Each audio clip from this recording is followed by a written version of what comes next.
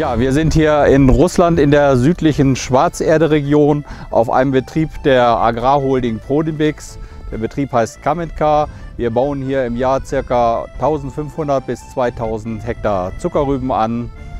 Wir haben hier neben der Bodenbearbeitung große, große Probleme mit der Phosphorversorgung.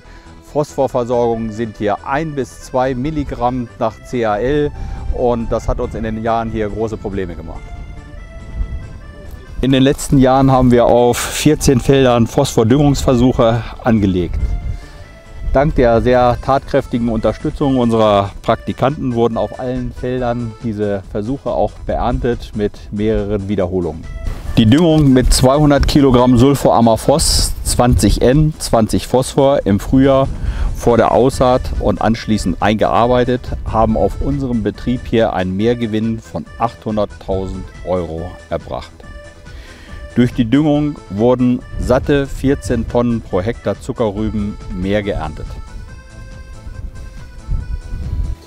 Wie versuchen wir heute dieses Problem zu lösen, da eine Aufdüngung der Böden finanziell einfach nicht möglich ist? Im Herbst bringen wir mit dem Köckerling Vektor und einem Boxersystem zu den Rübenfeldern etwa 100 bis 150 Kilogramm Amaphos 1252 in eine Tiefe von 15 bis 20 cm aus.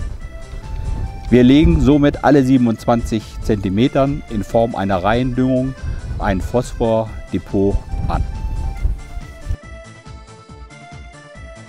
Im Frühjahr drillen wir circa die Hälfte der Rübenfläche mit der Tempo-Drill von Federstart. Mit der Aussaat wird nochmals in einer Tiefe von 5 cm 200 Kilogramm Sulfoamorphos ausgebracht, also zusätzlich 40 Kilogramm Phosphor und 40 Kilogramm Stickstoff.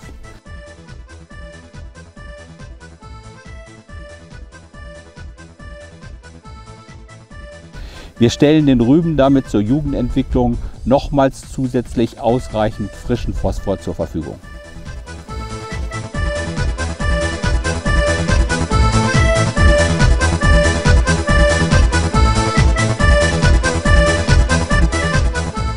Durch die vielen tatkräftigen Helfer des Unternehmens Prodimix und unserer Praktikanten konnten auch in diesem Jahr viele angelegte Versuche beerntet werden.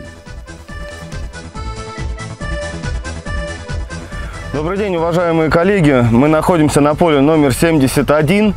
Здесь весной мы... Erstaunliche Ergebnisse konnten wir auf einem extrem niedrig versorgten Feld äh, feststellen, auf dem wir keine Herbstdüngung ausgebracht haben. Hier brachte eine Düngung mit 200 Kilogramm Sulforamorphos, also 40 Kilogramm Phosphor, 20 Stickstoff, einen Mehrertrag von über 120 Prozent. Auf den Standorten mit der Herbstdüngung Reindüngung sind die Ertragseffekte nicht so stark wie nur die Frühjahrsdüngung. Auf vielen Feldern sind deutliche Phosphormangelsymptome zu erkennen. Selbst nach Phosphordüngungsversuchen in Rüben reagiert die Sommergerste im darauffolgenden Jahr stark. Dort, wo zu Rüben kein Phosphor ausgebracht wurde, reagiert die Sommergerste mit einem Ertragsabfall von 30 Prozent. So stellen wir uns die Phosphordüngung auf einem Trockenstandort mit sehr schlechter Ausgangsversorgung vor die Ausbringung im Frühjahr als Unterfußdüngung, im Herbst die Depotdüngung in einer Reihe in einer Tiefe von 15 bis 20 cm. Betrachtet man das Wurzelsystem der Rübe, scheint eine tiefere Ausbringung nicht sinnvoll zu sein und wir verlieren nur zusätzlich Geld durch die tiefere Bearbeitung und tiefere Ausbringung. Welche Erfahrungen haben wir hier in den letzten zwei Jahren in Kamenka bezüglich der Phosphordüngung gemacht? Erste Aussage ist, die Reindüngung ist deutlich effektvoller als die Düngung der breitflächigen Ausbringung mit anschließender Einarbeitung im Sommer. Mit der Frühjahrsdüngung von Phosphor lassen sich auf diesen niedrig versorgten Standorten extrem gute und hohe Effekte der Phosphordüngung erreichen.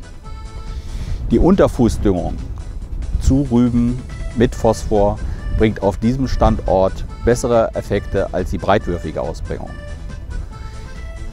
Es ist so, dass die gezielte Deponierung der Phosphordüngung uns auf diesen Betrieben deutliche Vorteile in der Ökonomie bringt. Das heißt, es lässt sich Dünger einsparen und da der Phosphordüngung immer teurer wird, ist das ein wichtiges Ziel, was wir hier durchführen werden, die gezielte Deponierung der Phosphordüngung in erster Linie zu Zuckerrüben, in Zukunft auch zu anderen Kulturen.